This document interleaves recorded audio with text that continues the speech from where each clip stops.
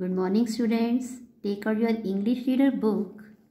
Lesson 3 and today we will do question answer of lesson 3. First of all you will write down lesson 3 Puss and the Parrot in your notebook. And the question 1 is who is hungry? Look at this picture. This is Puss, the cat and this is Parrot. Now tell me who is hungry? Puss. Yes, Puss the cat is hungry. We will write here. Question is who is hungry? The answer is Puss. Oh, comma the cat oh, comma is hungry. U N G R Y. Now question number 2. Whom does Puss want to eat. Whom does Puss want to eat? Puss wants to eat the parrot. So the answer is Puss wants to eat the parrot.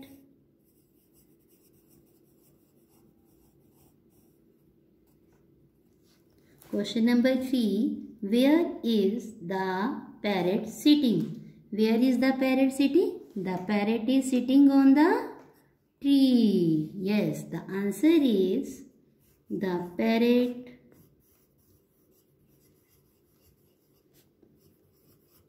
is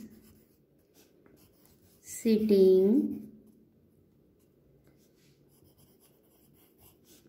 on the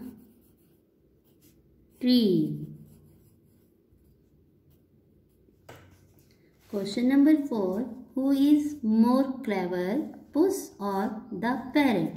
Look at this picture. Who is more clever, puss or the parrot? Yes, the parrot is more clever. Answer number 4. The